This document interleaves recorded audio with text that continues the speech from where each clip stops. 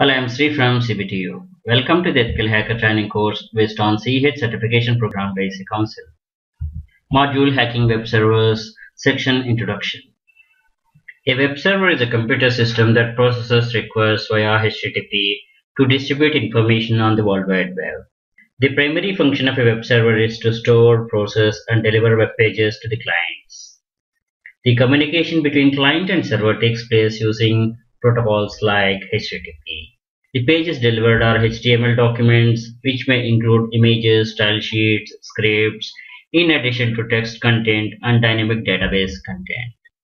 This is a typical web server scenario where customers coming from internet go through the hardware and this is operating system here it's Linux the other layers that work on the operating system are web server like Apache and Nginx scripting language Perl, PHP, Python, database like MySQL, MariaDB, web caching with Squid, and this is a typical scenario.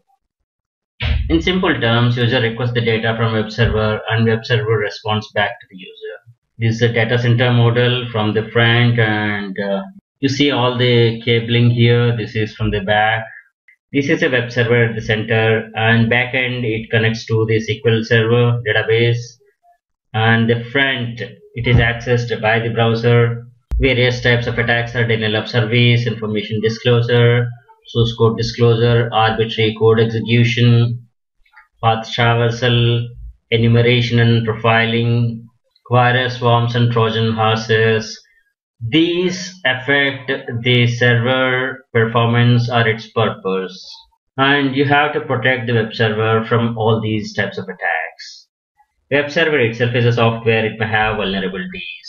Attacker may take advantage of poor patch management, unnecessary services and protocols, poor access control or weak access control, and no auditing, and overprivileged accounts. So you have to take care of these to protect your web server, especially production server where it may impact economics. Attackers exploit vulnerabilities in the web servers and take control of them. Attack vectors are mostly default settings, misconfiguration, bugs in the web servers, known and fixed, or unknown and not yet fixed, and weak security policies.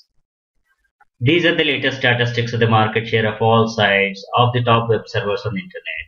Apache has nearly half the market share and the top three that is Apache, Nginx, Microsoft IIS out of 40 odd web servers have a market share of 94.6% and the remaining contribute for the 5% market share. Various types of attacks are directory traversal attacks, DOS attacks, DNS hijacking, sniffing, phishing, pharming, defacement, etc. Let us cover these in more detail in another session.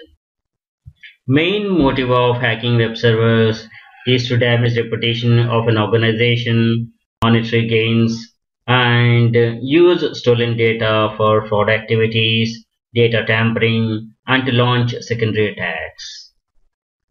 Some of the general tools that are used for web server hacking are Metasploit, Mpack, Zeus, Neosploit, HTTP Recon, IDServe, WFH, etc.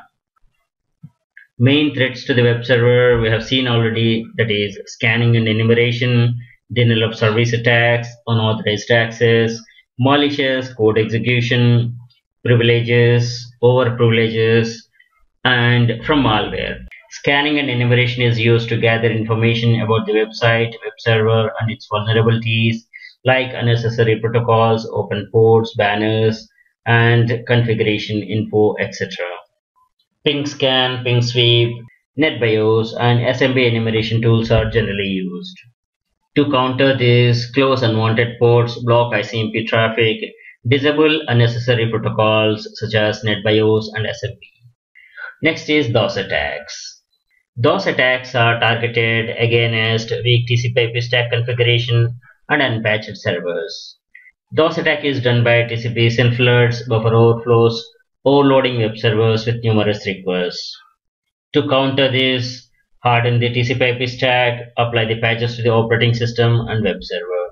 Next threat is unauthorized access. Strengthen the permissions and user access controls. Secure web server user access permissions, .NET Framework access control mechanisms, including URL authorization. Attacker may run malicious code on web server to compromise the server with weak configuration and unpatched servers. To counter this, configure the web server to reject URLs with dot dot slash to prevent the path traversal, lock down the system commands and utilities with ACLs. And coming to the over privileges, run the processes using least privileged accounts only. Malware like virus, worms, Trojan horses affect servers and damage their purpose. To counter this, patch and stop unnecessary services, filters, and extensions. These are the countermeasures to secure web server. Patch management, hardening operating system, hardening web server, and configuring firewalls, antivirus, anti-malware software, disable remote admin access, remove default accounts and unused accounts, default ports and settings must be secured. It is impossible to write a software program without bugs. Whatever testing is done, there may be some unexplored bugs that may surface at a later time. Those need to be addressed when discovered. Operating system, web server, and web applications are all softwares and may contain bugs that are prone for attacks. This is about the manipulation of live HTTP headers. Thanks for watching.